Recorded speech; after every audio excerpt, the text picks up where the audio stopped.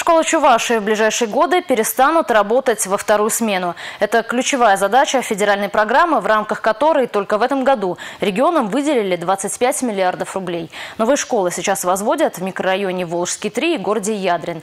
Развитие отрасли образования глава республики обсудил с руководителем профильного ведомства Сергеем Кудряшовым.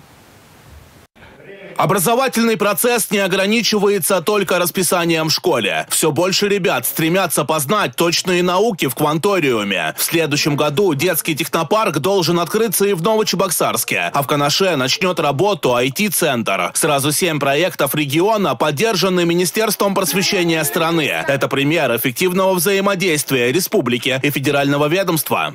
И финансовые средства выделяются, и садики, и школы будем строить, реконструировать, создавать дополнительные рабочие места для родителей, соответственно, а дети будут получать соответствующие комфортные условия и в детских садах, и на всех школах, и все эти программы должны быть реализованы. Было отмечено, что Чувашская республика всегда находилась, ну, будем говорить, в число входило лучших субъектов Российской Федерации и по единому государственному экзамену, и по участию во всех федеральных экспериментах – том числе мы сейчас подали заявку на субсидии в рамках нацпроекта образования. Из 8 заявок 7 заявок у нас поддержано. У Чувашской республики есть богатый опыт и собираются тиражировать опыт создания МЦК Чувашской республики. На первый план выходят и вопросы воспитания молодежи. Школьников намерены обучать азам информационной безопасности.